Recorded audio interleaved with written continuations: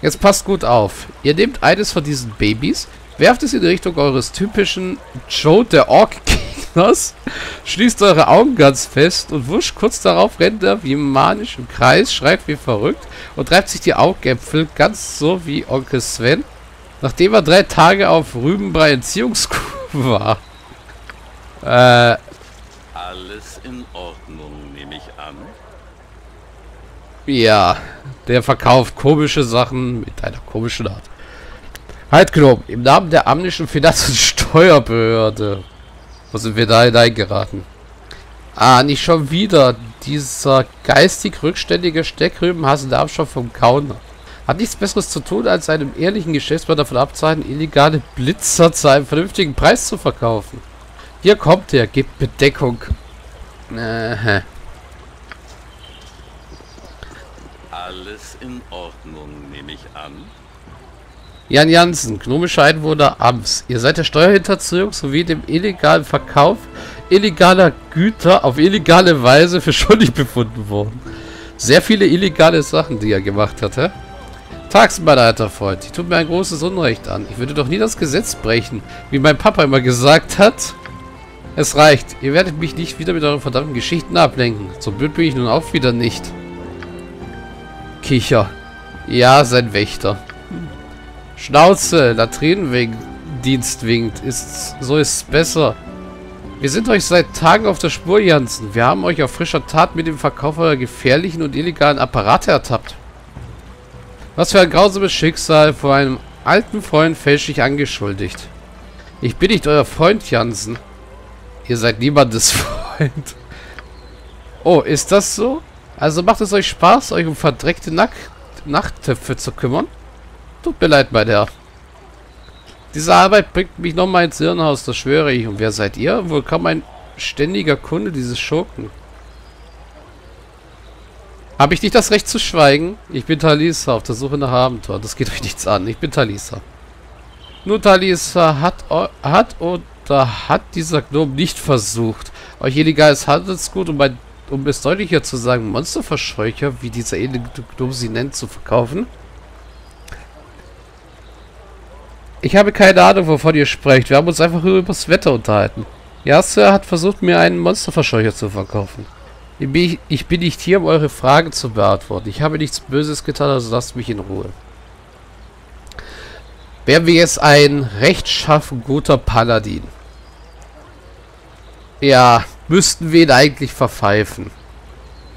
Ich bieg mir das eigentlich immer bei den Paladinen so hin, dass ich sage, ich diene ähm, Helm, der ist ja von der Gesinnung her äh, neutral gut, nicht rechtschaffen gut.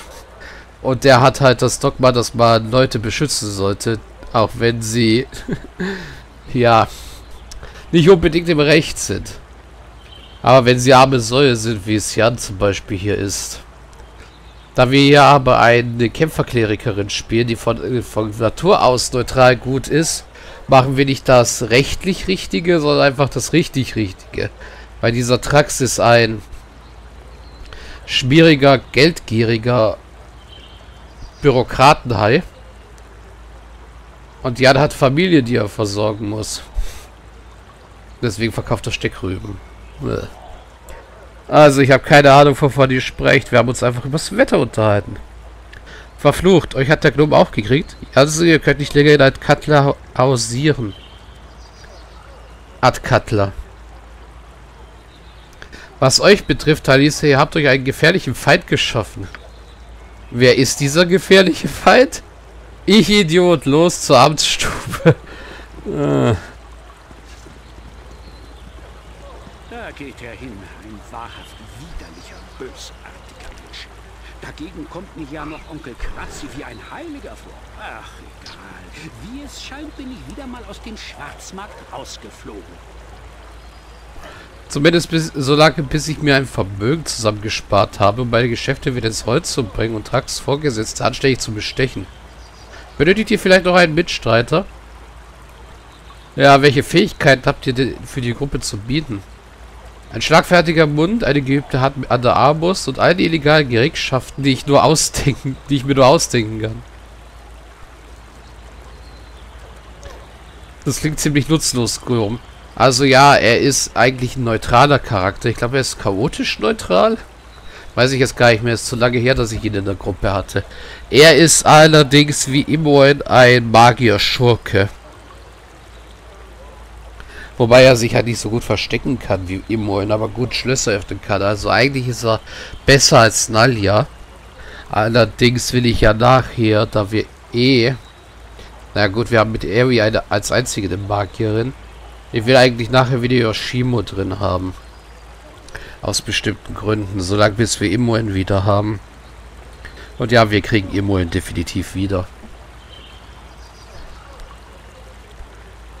Deswegen will ich Jan jetzt erstmal nicht mitnehmen, weil wir haben schon eine Meckerziege, eine neutrale im, im, im äh, der Gruppe, die irgendwann wieder anfängt rumzumotzen, wenn wir zu viel Ansehen haben. Zwei von der Sorte machen das dann noch äh, etwas unerträglicher. Also im Moment benötige ich jemanden wie euch eigentlich nicht. Vielleicht zu einem späteren Zeitpunkt. Ihr werdet schon sehen, was ihr an mir vermisst. Falls ihr eure Meinung ändert, findet man mich in der nicht ganz so opulenten Hälfte der Stadt. Man könnte es auch als die Slums bezeichnen. Ich stehe vermutlich gerade hinter einem Steckrübenaufstand und versuche mir langsam und mühselig genug Geld für eine ordentliche Bestechung zusammenzusparen. Ich wünsche euch viel Glück. Ja, neuer Tagebucheintrag.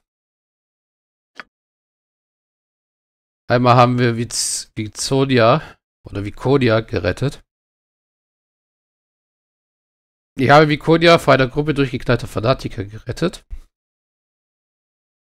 die sie wohl in der Stadt entdeckt hatten und sie nun an einem Pfahl verbrennen wollten. Sie sagte mir, dass ich sie im Friedhofsviertel finden kann, sollte, sie, sollte ich sie mal brauchen. Ja, das wäre halt für eine böse Gruppe dann die, das Pendant zu Jahira.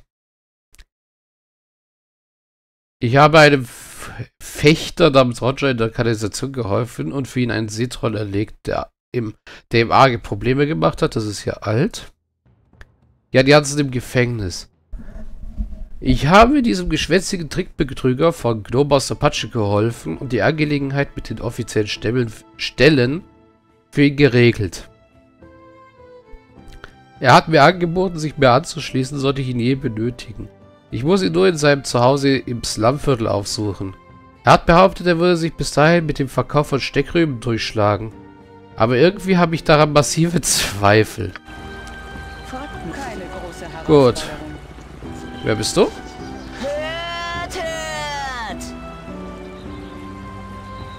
Hört, hört, es ist, eine, es ist ein heißer Morgen heute. Ein Dutzend Schiffe sticht in Richtung Maztika in See. Tiefwasser und Neuarm streiten um Rohstoffe. Ja, das kennen wir bereits. Helmshaven ist der Augapfel von Neuarm. Tiefwasser will Einfluss ausdehnen und plündert unter dem Deckmantel der Diplomatie. Der Rat der Sechs sendet eine Armada von Helmpriestern und Söldnern, um die tiefwasserischen Händler zu vertreiben, bevor die Einheimischen die Veränderungen riechen. Mögen die Simmel sieben Himmel verhüten, dass Metall oder Magie den Kolonien in die falschen Hände geraten. Ärger zieht sich zusammen, versammelt Freunde. Darauf könnt ihr euch verlassen. Hier habt ihr es zuerst vernommen. Schlechte Nachrichten reißen schnell und Unglück breitet sich wie ein Buschfeuer aus. Euer ergebener Diener liest aus dem Warnbuch und bringt euch die jüngsten Nachrichten aus den Reichen.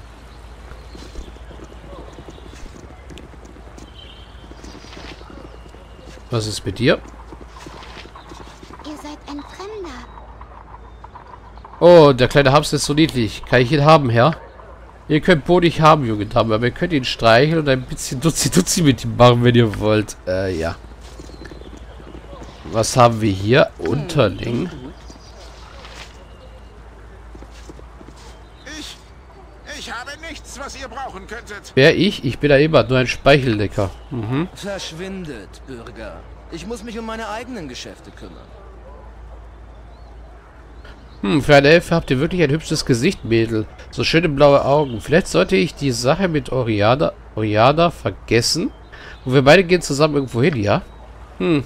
Mir wäre es lieber, wenn ihr es bei irgend bei irgendjemand anderem mit eurer Schmeichelei versucht. Onkel Quell hat mich vor perversen alten Männern wie euch eindringlich gewarnt. Ich war schon erledigt. Was passiert, wenn ich mit Yahira rede? Verschwindet, Bürger. Ich muss mich um meine eigenen Geschäfte kümmern.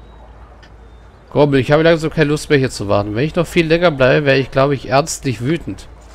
Vielleicht brauchen die Leute hier nur einen raschen Tritt in die Weichteile. Ja, also das ist ein neuer Ansatz. Nein, ich habe nur selten Zeit zum Lesen. Zu viel Arbeit. Hm. Wir bräuchten eigentlich mehr Leute für euch im Rad. Nein, bloß nicht. Lasst Minske neuen Rad und es geht bergab. Hm, hebt fort mit euch, Bauer. Äh, was der großartige Fürst Pelos sagen möchte, ist, dass, es, dass er viel zu sehr damit beschäftigt ist, äh, die Stadt zu überprüfen, als dass er im Moment mit euch sprechen könnte. Hat er noch mehr zu sagen? Verschwindet, Bürger. Ich muss mich um meine eigenen Geschäfte kümmern. dass gegenwärtig eure Name nicht präsent ist. Ich bin sehr gut in der Lage, selber zu sprechen. Ja, natürlich, euer Anwendungsbürgerlichster. Meine Entschuldigung, euer Gnaden. Ja, er befehlt jetzt diesen versammelten Bauerntum, sich zu verziehen. Ihnen hängt sein Geruch an, der mich beleidigt. Hm. Ich helfe schneller als Chick-Ticker Schnellpratze. Ja. Komm. Berührt mich bloß nicht. Sprecht und dann verschwindet. Hm, also ich bin ziemlich sicher, dass ich nicht. Äh, First Pelos meint, dass ihm gegenwärtig euer Name nicht präsent ist. Ja, das kennen wir schon alles. Wie kann ich? Ich versuche immer mein Bestes. Was sagt Dalia? Verschwindet, Bürger. Ich muss mich um meine eigenen Geschäfte kümmern. Gut. Ja, was immer ihr wünscht. Wie gesagt, wir könnten jetzt hier hinten das Regierungsviertel verlassen.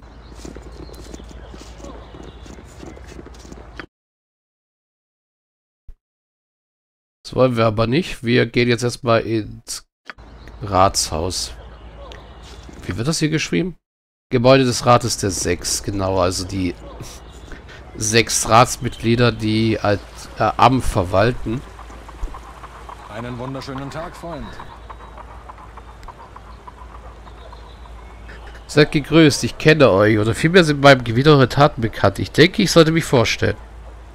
Mein Name ist Baden, ich vertrete einen der Meister von Akatla aus dem Orden der verrückten Magier. Er besabsichtigt, eure Dienste in einer dringenden Angelegenheit in Anspruch zu nehmen. Die verhüllten Magier, sie sind diejenigen, die Imoen verhaftet haben. Ich hätte größtes Interesse daran, mit ihnen zu sprechen. Davon weiß ich nichts. Wie ich bereits erwähnte, vertrete ich einen Magier, einen gewissen Meister Tolgerias. Vielleicht könntet ihr ihm, ihr mit ihm über diese Imoen sprechen.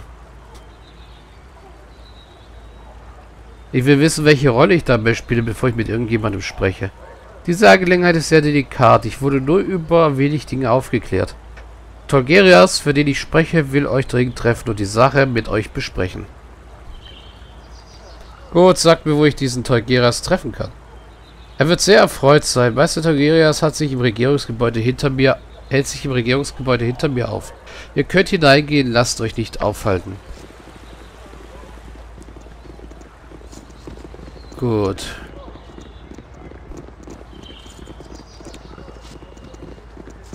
Wofür auch immer er den, Sch- äh, den Hampel da draußen braucht, dass der mir sagt, dass ich hier reingehen soll.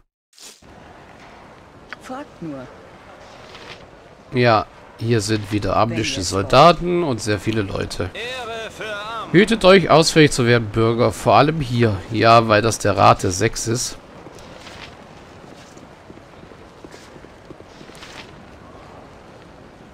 Dies ist der erste König von Am, Esmel Torlav. Er hat das Land vor beinahe 1000 Jahren nach dem Zerfall der, des Shun-Imperiums gegründet. Auf dem Thron hinter der Statue hat wohl schon lange niemand mehr gesessen. Thron hinter der Statue? Da ist niemand. Da ist kein Thron.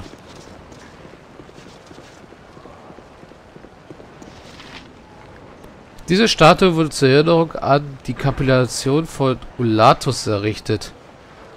Der Maztika-Stadt in Neu-Am. Mhm. Ja gut, es ist ein kleines Stadtgebäude, sage ich mal. Aber es gibt viele Leute hier. Vor allem hier drüben.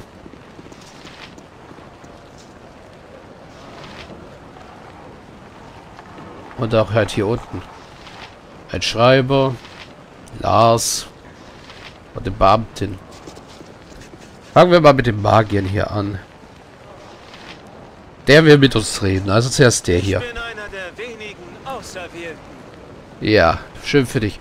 Ah ja, wie ich sehe, hat Marden sich wieder als treue Seele erwiesen, wie immer. Wie geht es euch bei der Fürstin in Anbetracht der Tatsache, dass die Stadt Fremden gegenüber nicht sonderlich aufgeschlossen ist?